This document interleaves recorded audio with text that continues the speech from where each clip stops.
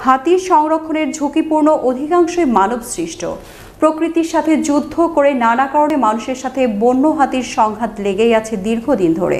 হাতি চলাচলের রাস্তা বন্ধ করে হাতির আবাসস্থলের খাবার সুরক্ষিত রাখতে পারলে সংঘাত বন্ধ হবে। তাই বন হাতি রক্ষার সবাইকে এগিয়ে আসার আহ্বান জানিয়েছেন বিশিষ্টজনেরা। আজ বিশ্ব হাতি দিবস উপলক্ষে লোহাগাড়ায় চট্টগ্রাম দক্ষিণ বন বিভাগ চন্তি বন্যপ্রাণী অভয়ারণ্য রেঞ্জের উদ্যোগে আলোচনা সভায় বক্তারা এসব কথা বলেন। এ সময় বক্তারা আরও বলেন, বনের হাতির চলাচলের পথ সংকুচিত করা, বনাঞ্চল উজাড় করা, বনাঞ্চলের কৃষি জমির চাহিদা বৃদ্ধি, খাদ্য সংকটন ইত্যাদি কারণে বাড়ছে মানুষের সাথে হাতির সংঘাত। জীব বৈচিত্র্য টিকিয়ে রাখতে হলে বনের হাতি সংরক্ষণের কোনো বিকল্প নেই বলে মনে করেন বক্তারা।